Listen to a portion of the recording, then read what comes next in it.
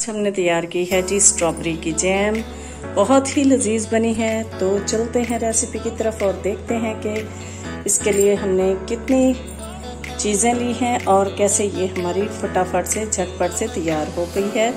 बहुत ही taste wise जायकेदार बनी है। बसमीम अलीज़े अलवी व्लॉग्स के साथ एक दफ़ा फिर हाजिर हैं। आजकल जी स्ट्रॉबेरी का मौसम है, बहुत मज़े की लजीज सी स्ट्रॉबेरी आई हुई है बाज़ार में भी, और हमें तो आज आई है गिफ्ट। तो गिफ्ट आई है तो वो तो आपको पता है काफ़ी मकदार में होती है, इतनी नहीं कि भाई बंदा थोड़ी सी ले और खा ले या शेक बना के पी ले और ख़त्म। तो हमने सोचा कि आपके साथ दो तीन रेसिपीज़ शेयर करेंगे, लेकिन वन बाय वन आज हम आपके साथ शेयर करने लगे हैं स्ट्रॉबेरी जैम की रेसिपी। स्ट्रॉबेरी जैम कैसे बनता है? उसके लिए हम ले लेंगे, ये तो काफ़ी सारी है, इसमें से आधा किलो स्ट्रॉबेरी लेके उसका आपको जैम बनाना दिखाएँगे कि कैसे बनाएँगे। तो इसमें से ले लेते हैं और उसको धो के कटिंग कर लेते हैं। ये जी हमने धो ली, इसके ऊपर वाला ग्रीन वाला पोर्शन उतार दिया। अब इसको छोटे छोटे पीसीस में कट करके इस तरह एक बाउल में डालते जाएँगे। छोटे डाल बना लें, बड़े बना लें, ये आपकी अपनी मर्ज़ी है।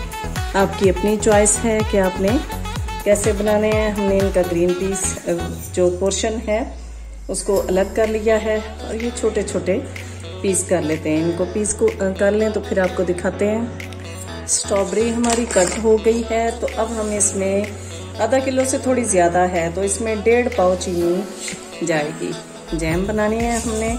तो इसको मिक्स करके थोड़ी देर के लिए रख देंगे। ये डेढ़ पाव हमारी चीनी इसमें चली गई। इसको अच्छे तरीके से मिक्स करके थोड़ी देर के लिए, यानी घंटे डेढ़ के लिए, ताकि इसके जो जूसेस हैं, ये बिल्कुल ऐसे बनता है जैसे हम मुरबा बनाते हैं गाजर का। गाजर का मुरबा मैं इसी तरह बनाती हूँ कि चीनी और गाजरों को मिक्स करके रख देती हूँ, ये अपना जूस रिलीज़ कर लेते हैं। तो उसी में इनको पका लेते हैं। इसी तरह इनको भी ऐसे ही करना है कि इसका जूस रिलीज़ हो जाएगा तो फिर हम इसको भी पका लेंगे। तो इसको रख देते हैं एक घंटे डेढ़ के लिए। एक से डेढ़ घंटा हो गया है, हमें इसको रखे हुए। तो देख लेते हैं इसकी क्या सिचुएशन है। ये देखें जी, इसने अपना पानी जितना रिलीज़ करना था, कर लिया है। आप चाहें तो इसको ज़्यादा टाइम के लिए रख सकते हैं। लेकिन चूँकि हमें जल्दी है तो हम इसका जैम बनाना स्टार्ट करते हैं। तो चलते हैं हम अपने पैन की जानब और पकाते हैं इसको। बनाते हैं अपना जैम।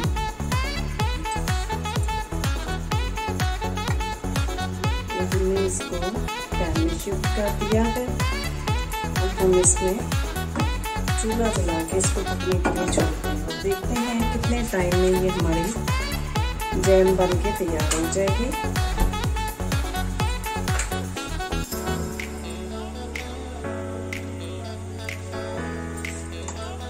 पकने देते हैं इसको।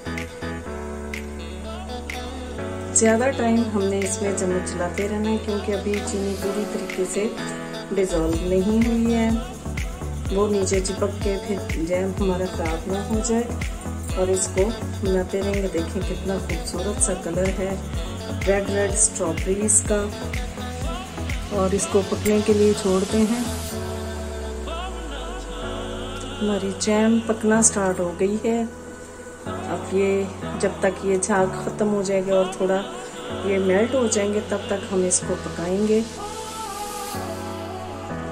हमारा जैम काफ़ी हद तक बड़ा हो गया। ये हमारा चंक्स वाला जैम तैयार होगा, बहुत ही लजीज बनेगा। इनशाला आप देखिएगा, आप बनाइएगा मेरे अंदाज में। ज़्यादा मुश्किल भी नहीं है, फटाफट से बन जाता है। अब हम इसकी कंसिस्टेंसी को देखेंगे। आप देख रहे हैं, गाढ़ा फील हो रहा है। जैसे चटनी टाइप ये बना हुआ है, लेकिन बहुत ही लजीज है। इसको हमें अब चेक करना है कि हमारा ये जैम रेडी हुआ कि नहीं। तो इसके चेक करने का तरीका आपको बताते हैं, कैसे चेक करेंगे हम। हम ये प्लेट ले लेंगे, इसमें एक ड्रॉप डाल के देखेंगे। अगर तो ये इस तरह जैसे ये अभी बह रहा है, आपको नज़र आ रहा होगा, ये बह रहा है। तो मतलब अभी ये तैयार नहीं हुआ। जैसे ये हमारा सेट हो जाएगा, इसको इंतज़ार करना है हमने।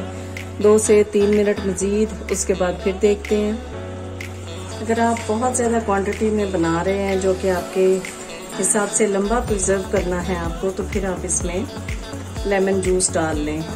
ये जितना हमने बनाया है इसमें, एक टेबल स्पून लेमन जूस अगर आप इसमें शामिल कर लेंगे तो इसको छः से सात माह आप बड़े आराम से फ्रिज में रख के प्रिजर्व कर सकते हैं, यानी चला सकते हैं।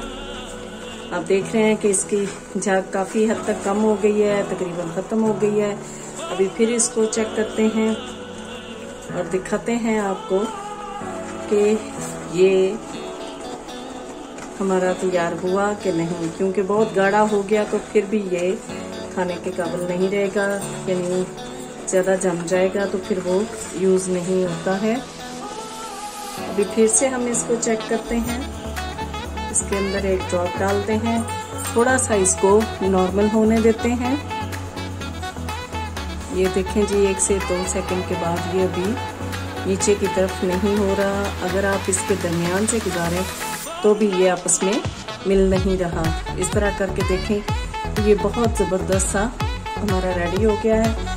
स्टीम स्टोव को ऑफ़ कर दिया हमने।